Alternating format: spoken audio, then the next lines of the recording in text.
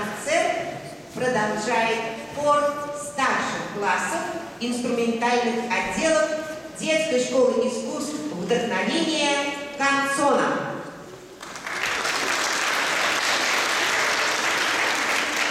Руководитель хора Максим Анатольевич Попов.